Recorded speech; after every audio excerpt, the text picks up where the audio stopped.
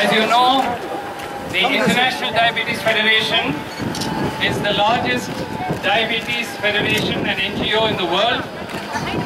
It, uh, we'll hear, hear more about the IDF during the meeting, but one of the symbols of the IDF is the blue ring and the blue balloons, and blue is associated with diabetes.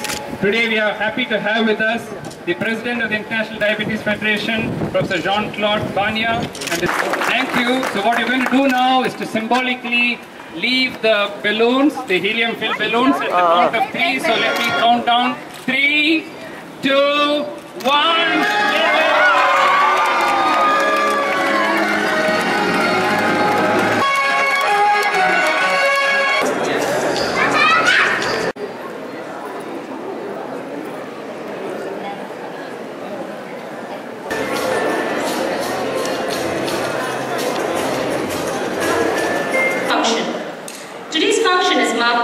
Important events.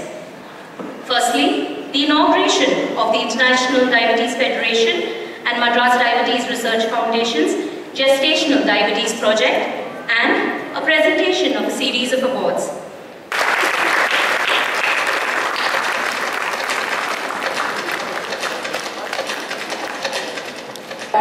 Professor Jean-Claude Mbanya, President, International Diabetes Federation and Professor of Medicine and Endocrinology, University of Yaoundé, Cameroon, on Saturday, 10th November 2012. Dr. Mohan's Diabetes Specialty Center, along with the Madras Diabetes Research Foundation, has emerged as one of the largest diabetes centers in India. We at DMDSC and MDRF felt it was our bounden duty to honor great men and medical scientists who have contributed significantly in their respective areas of work and hence decided to institute the DMDSC Lifetime Contribution Award. The Foremost diabetologists from Africa. In addition to the post focuses on cultural diabetes-related factors, many of which are unique to the African countries. Michael McIntyre, Consul General, U.S. Consulate, Chennai, to present the medal to Professor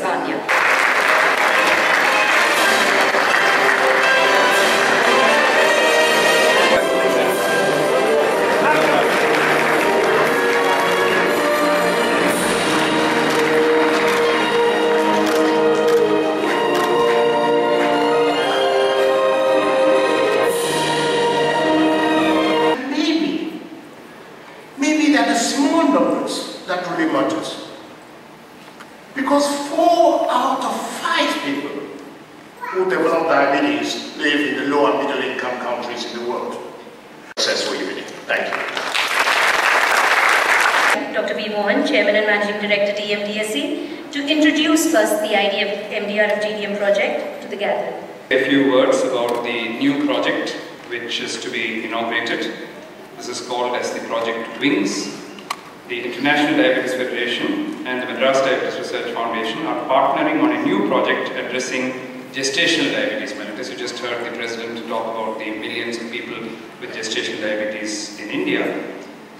The new project is called Women in India with GDM Strategy or WINGS for short. And it seeks to better understand the burden of GDM in India and more specifically in Chennai and Tamil Nadu. And we have a number of our collaborators sitting in the row here, in the first row here, who will be potential collaborators on this uh, project. WINGS aims to improve the health and pregnancy outcomes of women living in India who are affected by GDM and reduce their risk of future type 2 diabetes.